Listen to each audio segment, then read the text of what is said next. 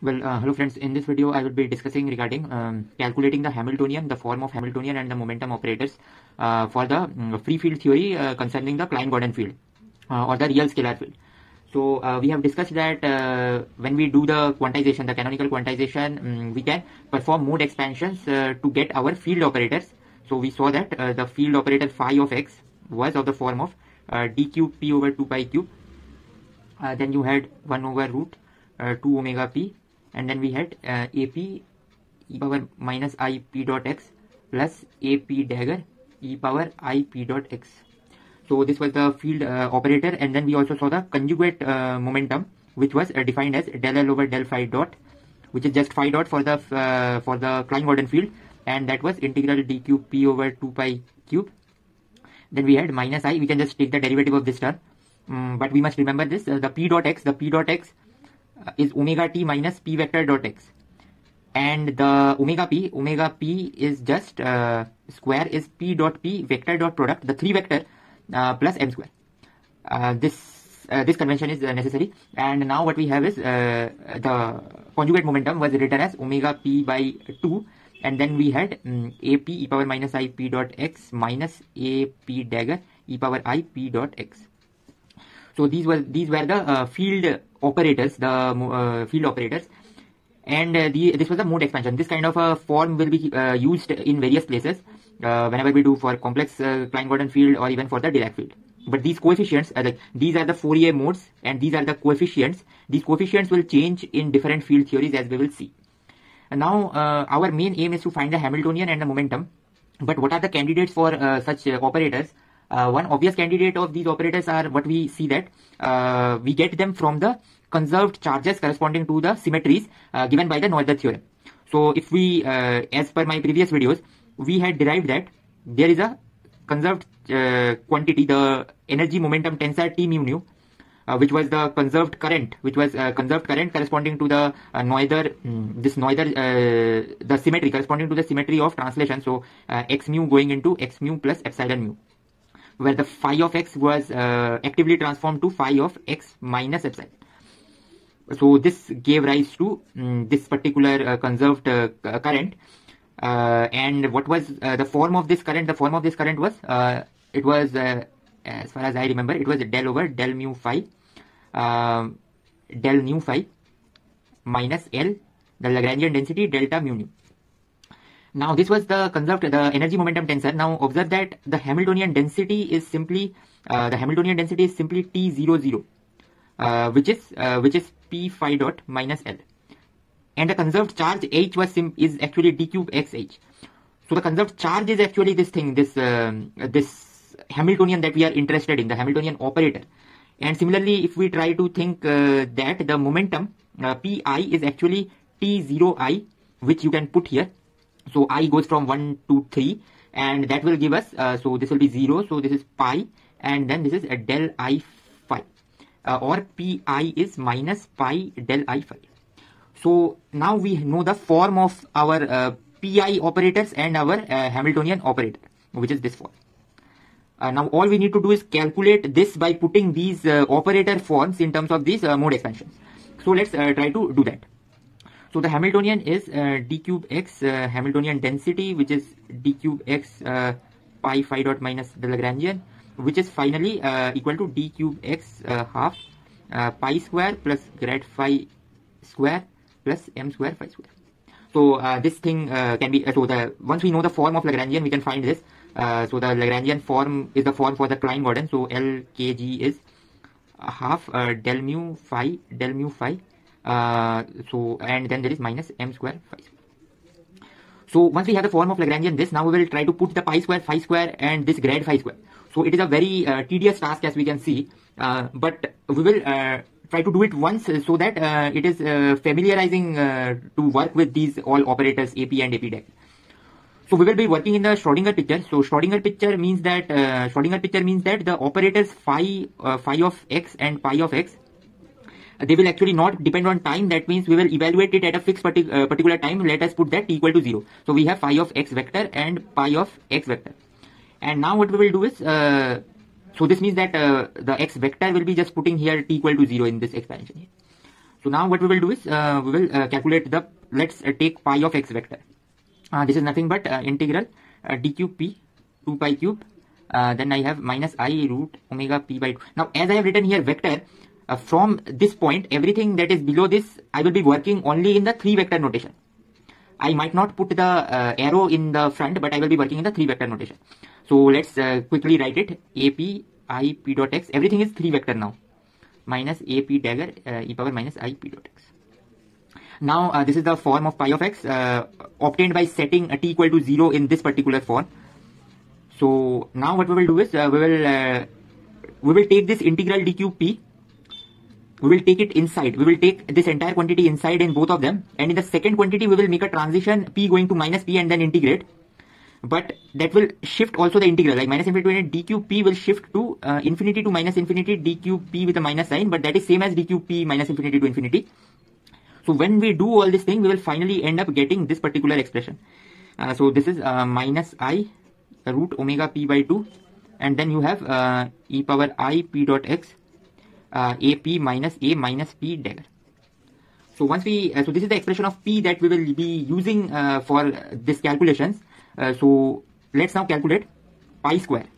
So pi square is uh, integral d cube p over 2 pi cube integral d cube k over 2 pi cube.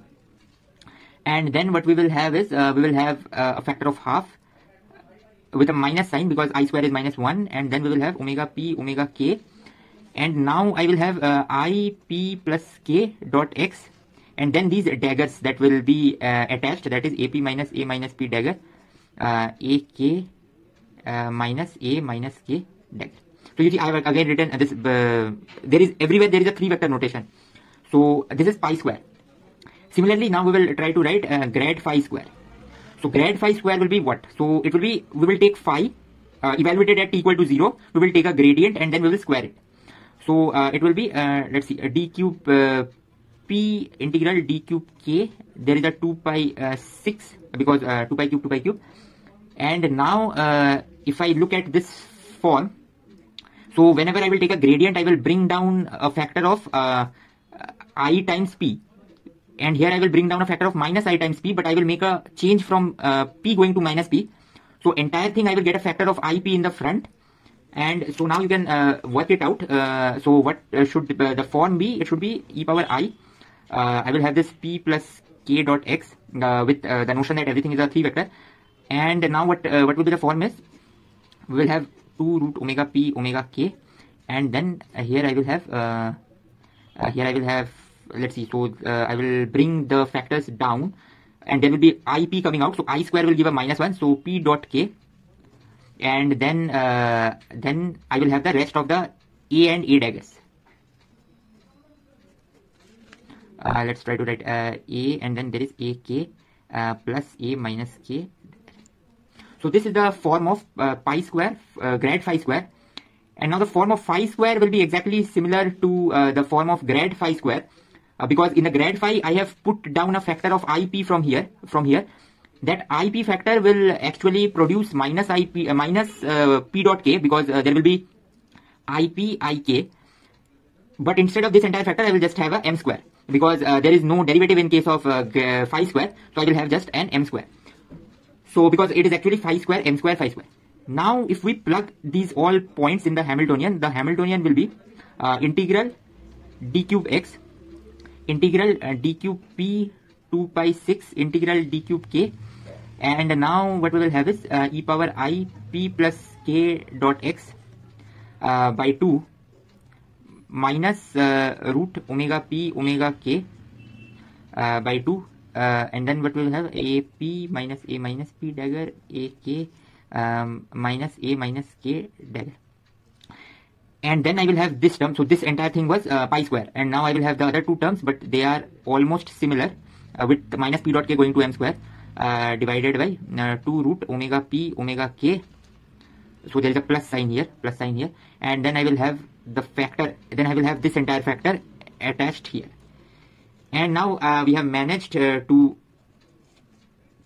we have managed to write the Hamiltonian in a very um, crude form. Now we will need to work this entire thing out by expanding everything. So for this first thing we need to note, the first thing is integral d cube x e power i p plus k dot x over 2 pi cube. This entire quantity is delta cube p plus k. So This is delta cube p plus k and uh, this is just a Fourier transform. So we will do this uh, delta cube transformation and then we will integrate over the k and put k equal to minus p. So that will give the Hamiltonian as uh, that will uh, only keep the p part and I will have half this half and then there is this bracket and now I will have minus omega p over 2 uh, ap minus a minus p dagger. A minus p minus a p dagger. So actually uh, so k is going to minus uh, p actually because of delta p plus k. Uh, plus uh, plus I will have uh, so this will produce p dot p and p dot p plus m square is omega square and here I will have a omega. Uh, so what this will produce is this will produce omega p by 2 and then I will have uh, this uh, star quantity that is here this entire thing.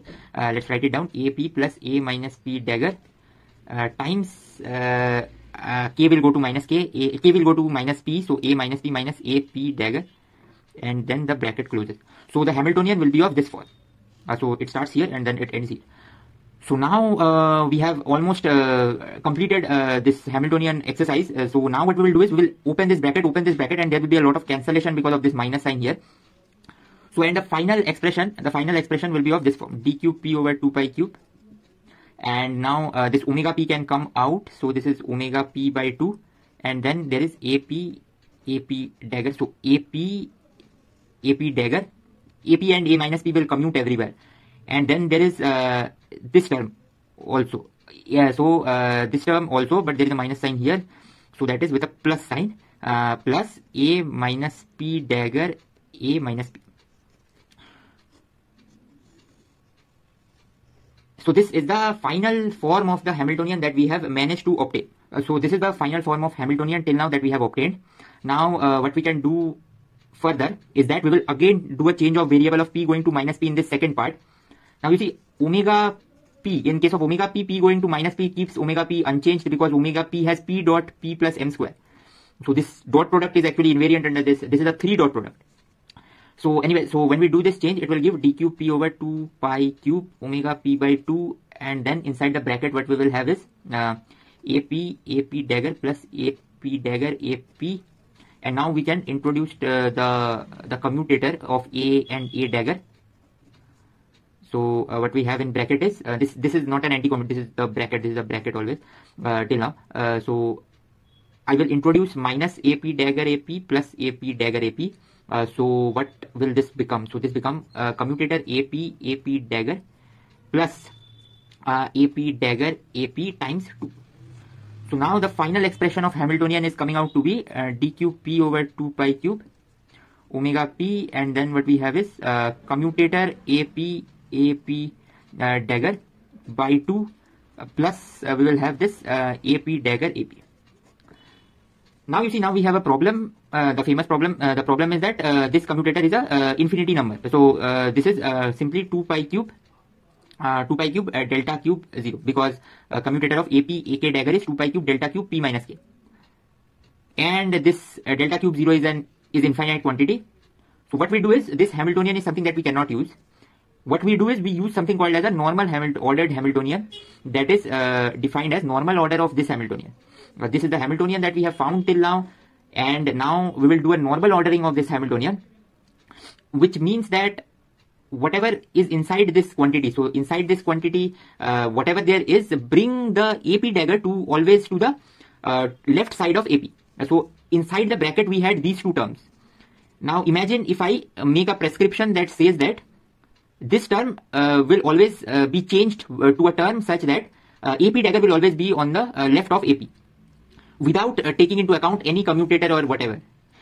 So this means that this will automatically produce a 2 and will not care about this delta cube because it is not caring about this commutator. So this normal order Hamiltonian is actually defined by removing this infinity part which is also saying that in some sense we are saying that we can uh, uh, scale our energy by an infinite amount and set the bar of energy measurement such that uh, we neglect this uh, infinite amount of energy because it will be added to all energy changes. Anyway, so this is the Hamiltonian that we want. So this is the normal ordered Hamiltonian. uh, for the this is the Hamiltonian operator. Now, in the similar fashion, uh, we will we can also find the momentum operator. So the momentum operator P can be written in this form. So uh, it, if it is uh, suppose uh, it is uh, pi, so I will put a del i here, and then there is phi. So this form comes from the uh, energy momentum tensor. So now what we can do is we can try to uh, solve this form in a better way by just plugging this pi and phi's and it is a much easier task than calculating this Hamiltonian and what we end up getting at the end so we will get something like this d cube x integral d cube p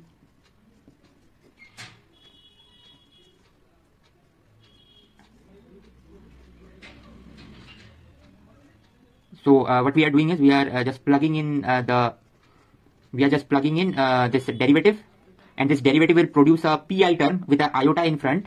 So it, it is like i pi and then the other daggers will remain same.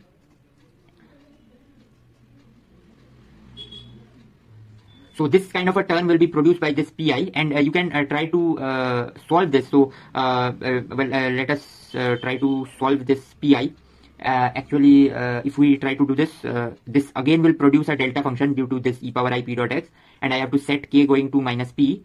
So everything will uh, give me finally 2 pi cube and then there will be this uh, pi the pi that uh, we are thinking. Uh, so this i I will put it up because you see uh, this this has to do with the Lorentz signature uh, because the dot product is pi xi actually. Uh, so when I do this pi comes front uh, and then there is this i square there is a i here there is a i here that will give us a minus 1 and that minus 1 will cancel with this. And I will be left with uh, a minus p a minus p plus e. now what we can do is uh, we can uh, also define this pi we can also define this pi by taking p going to minus p. That will produce a minus pi here and here uh, minus p minus a p dagger uh, a p uh, plus a minus p dagger. And so this is also pi and this is also pi now we can add these two equations to get a 2 pi uh, which will be of the form of integral d cube p over 2 pi cube uh, pi uh, 2 ap dagger ap plus uh, ap ap dagger. Uh, now what we can do is uh, we can again do a normal ordering to finally get that. Pi is integral d cube p over uh, 2 pi cube pi ap dagger ap so finally we see that the Hamiltonian and the momenta can be together clubbed as uh, a p mu operator mu going to 0 to uh, 3 as integral d cube p over 2 pi cube uh, p mu ap dagger ap where uh, p0 is omega and pi are the uh, three components. So with this we have uh, found the uh, form of momentum and the Hamiltonian